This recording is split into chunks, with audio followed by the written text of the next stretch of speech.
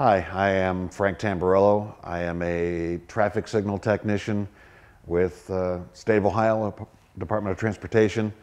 Um, I've been a signal tech for uh, just about two years. I've been with ODOT for over 12 years. And uh, some of the things we do here in the traffic department, we are responsible for uh, over 100 traffic signal locations in our district, which would be uh, Cuyahoga, Lake, and Geauga counties. Um, we're also responsible for uh, roughly 10 school systems and their school flashers in those counties.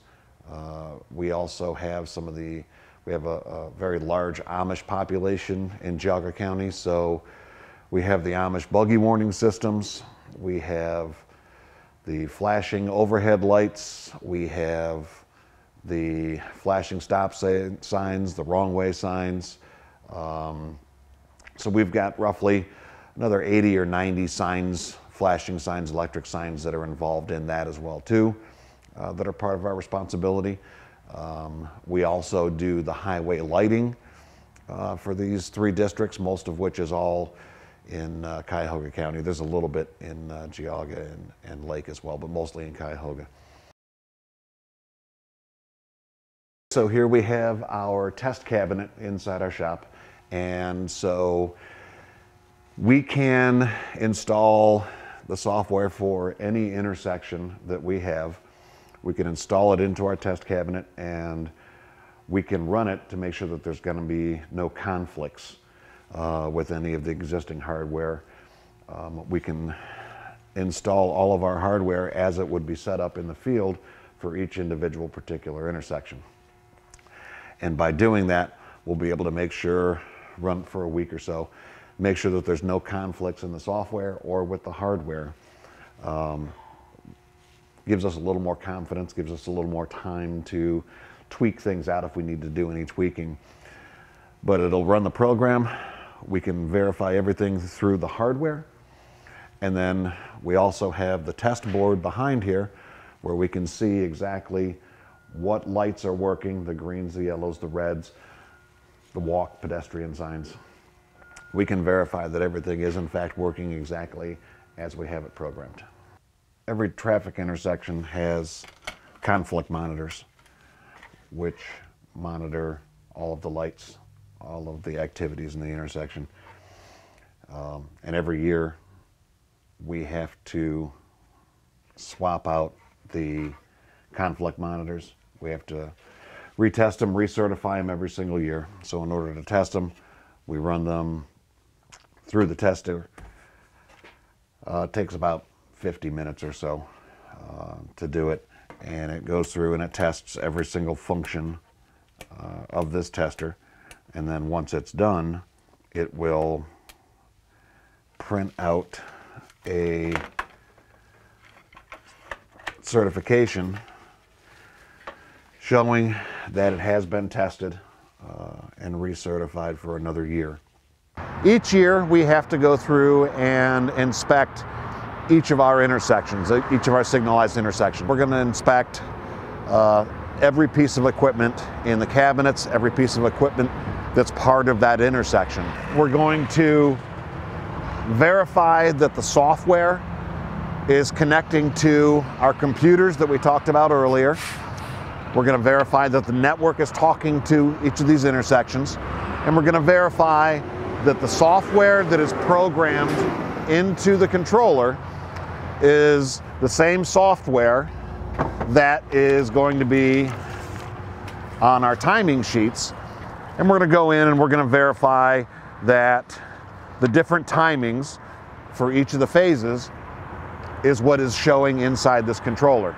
We're also going to verify that the cabinet, all of the electronic drawings for the cabinets are contained inside here.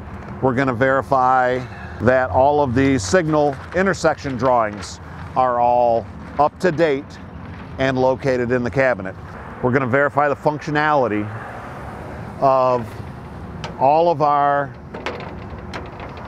load packs, our flashers. We're going to verify that everything is functioning properly. We're going to test out our PED buttons, we can test them instead of walking to each individual uh, pedestrian pole. We can hit our test switches and we can actually test things from here in our locations. We're going to test and make sure that it's putting a call in to the controller when we hit each of these buttons. As long as I've got an extra person with me when I'm doing these inspections, I can send that person out to each of the locations. He can go hit a button. I can verify, yep, it did hit. In fact, put it in the controller, put it in the load switch. That's working. A lot of times, unfortunately, we have rodent damage that will occur. And when that rodent damage occurs, they'll chew on wires and you'll get a loss, uh, a loss of signal. So if I'm not seeing he's pressing a button and I'm not seeing that it's that it's being pressed, a lot of times that's going to be uh, an indication that we've got some rodent damage, and we're going to have to run all new wires. Um, again, the conflict monitor that we talked about earlier, we're going to swap out our conflict monitor with the new certified conflict monitor, and we'll change out our certification in the cabinet. So here we have our battery backup system, our UPS. And so every one of our signalized intersections has one of these UPSs. Uh, it's an uninterruptible power source. And so what this does is if there's ever a power failure, whether it be from storms, uh, downed lines, unfortunately traffic accidents, things of that nature. So what we need to do is we need to verify that this UPS unit is functioning properly. And what it will do is it will take the juice from the batteries, 24 48 volt, depending on the system we have, and it will run through the inverter and it will feed 120 volts back to the sig signal cabinet and it's going to run for approximately two hours. During our signal inspection, we're going to be inspecting every piece of this signalized intersection. So we're going to start with our signal pole and our mast arm, the bolts that are securing the pole to the ground the pole itself, any bolts for the mast arm, pole caps, any wiring that's running up these poles on the outside. The mast arm itself. Then we're going to inspect every single device that's hanging from these poles, from these mast arms. So any signs, we'll inspect the signs that are on each of one of these. We're going to inspect every single signal head.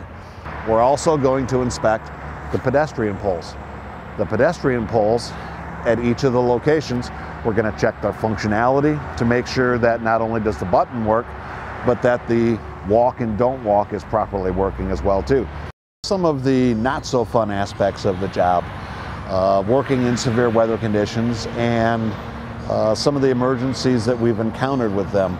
So as an example, uh, last year we had an intersection where uh, during a severe storm, lightning struck an overhead power line from our power companies, struck it in the worst possible point. The power line itself severed from the lightning, came down on top of one of our signal arms and sent over 7,000 volts of electricity through our whole signalized intersection. Every single piece of equipment inside the cabinet was completely fried. We opened the cabinet, the whole cabinet was black on the inside. Um, the police had mentioned to us that the witnesses that the intersection when it happened, that there were physically flames shooting out of our signal heads. Um, and when we got there, I was finding signal lenses that were 100 feet, 120 feet away from where they were supposed to be, blown further out into the intersection. So we had to replace the entire cabinet, um, all of the equipment inside the inside the cabinet. Um, we replaced every single signal lens that was out there, some of the heads, every signal radar unit that was out there, all the pedestrian heads. Uh, everything was completely blown apart fried from the electricity. Unfortunately, we also determined that all of the wiring through the entire intersection, everything that ran through the poles, everything that ran underground, everything was completely melted and fused together. So At that point, with the assistance of a contractor who had the heavier equipment, we were able to dig up portions of the road and sidewalk. We were able to get all the uh, wire pulled out, and we had to run all new wire through the entire intersection to all the signal heads, to all the radars, to all the pedestrian uh, heads and buttons. Um, inside the cabinet, re-terminate everything. Uh, this happened uh, on a Saturday. When we first arrived at the intersection, pouring rain. Um, roughly early afternoon on a Saturday. We worked straight through until Monday morning in order to get the entire intersection back up and running in time for rush hour at 6 a.m.